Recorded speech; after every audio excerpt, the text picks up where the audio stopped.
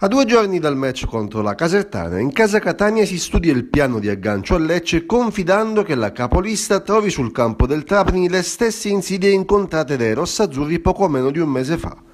Per il Catania si profila una nuova ghiotta occasione per accorciare le distanze, ma in caso rossazzurro è ben chiaro che si dovrà pensare innanzitutto a battere la Casertana, perché altrimenti qualunque altro calcolo sarebbe inutile. È l'ultima sfida del 2017, l'ultima prima della sosta e i rossazzurri si presentano a questa partita con il vento in poppa incoraggiati dal nuovo rendimento positivo in trasferta che vede il Catania addirittura primo in classifica con 21 punti conquistati fuori casa.